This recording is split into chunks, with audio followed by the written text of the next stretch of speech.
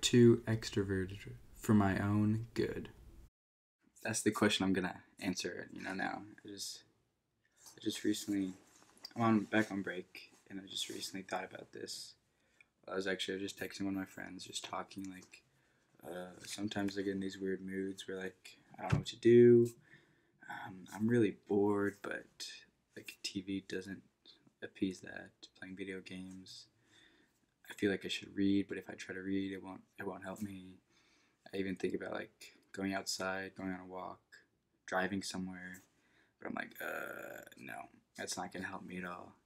Like, uh, what is this? And like, hmm, am, am I too extroverted for my own good? Like, do I need to be constantly with people to be happy, to be, to be just satisfied and like have energy? Like, uh, extroversion. What is extroversion? I, I went on like philosophy.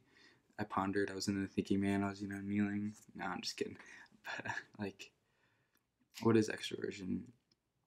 And like a lot of people think extroversion is just talking a lot, liking being the center of attention, just wanting to be in a huge crowd all the time, and within that crowd, usually have a lot of attention on them. And yes, that's a lot of those. I am very talkative, you know. I do like to be, I do like attention, but uh, that's definitely not what extroversion is. That's just me, who I am. I know a lot of really talkative introversion introverts, and I know a lot of extroverts that don't like that stuff.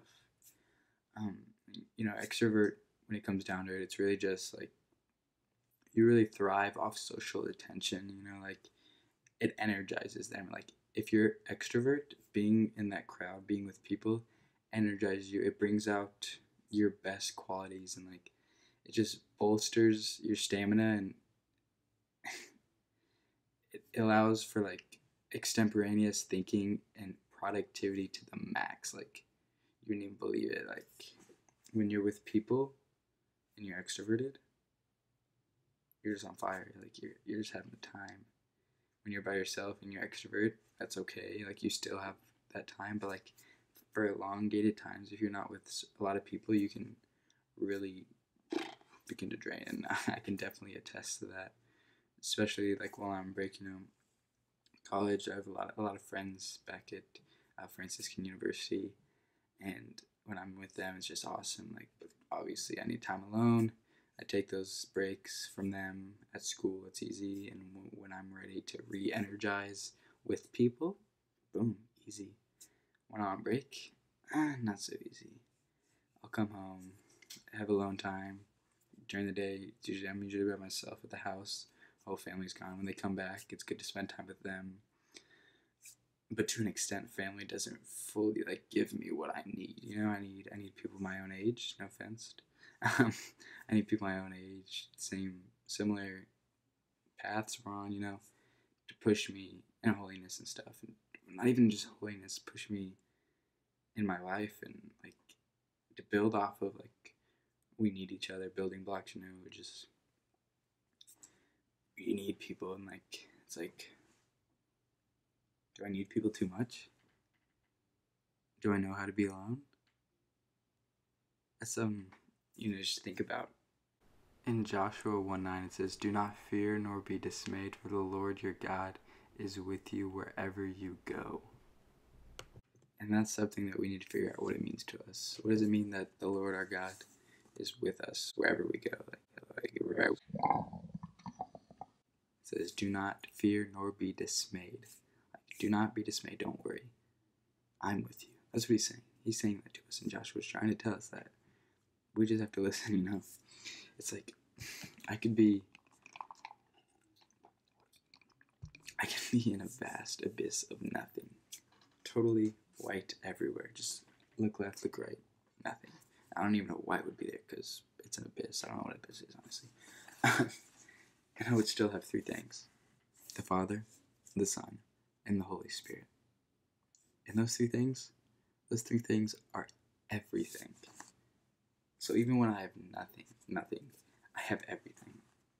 And if we if we take that to heart, if we think about that, in our everyday, like I'll never get in these weird moods because like okay, I need people, I need attention, blah blah, I need whatever. I need to energize. Go to the Lord, like He is there. Like I have people surrounding me everywhere. Like He gives us these people, even even if we don't feel like we need to go to Him directly, even if we don't remember to go to Him directly. He's like, I laid out these certain people in your life that will lead you to me, that will give you comfort, like Mama Mary in the Rosary,